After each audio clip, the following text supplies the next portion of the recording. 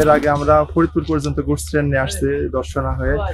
এখন আশা করছি হয়তো ঢাকা পর্যন্ত যেতে পারব। এটা অনুভূতি অনেক ভালো।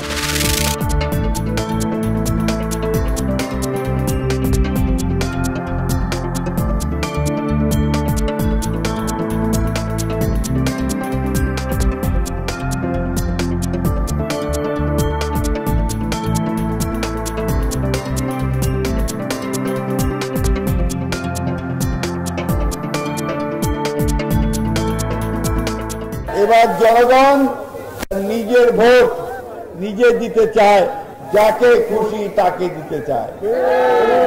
আপনি আপনার রাষ্ট্রযন্ত্র দিয়ে, পুলিশ দিয়ে, র্যাব দিয়ে, ম্যাজিস্ট্রেট দিয়ে, ইলেকশন কমিশন দিয়ে আবার নির্বাচন করে নিয়ে যাবেন আর বাংলাদেশের মানুষকে আবার বোকা বানাবেন।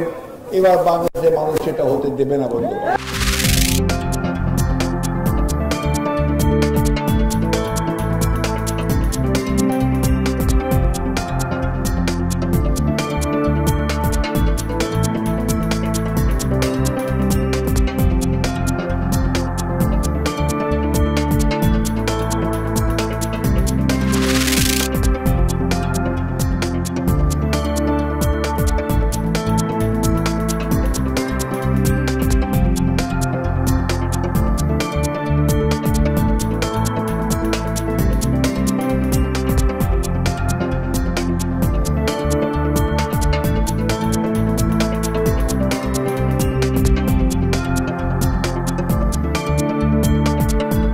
একটি মেয়ে, ও ক্লাস সেভেনে পড়ে, ও নিজেকে লিখেছে, ও নিজেকে নিজের নিজেকে নিজের কথা বলছে।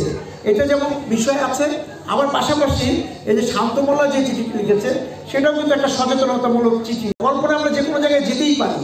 সুতরাং এই জায়গাগুলিতে আমাদের ছেলে মেয়েদের সঙ্গে যদি আমরা গল্পগুলি করি, নিশ্চয়ই ওরা এই ধরনের চিঠি লিখবে।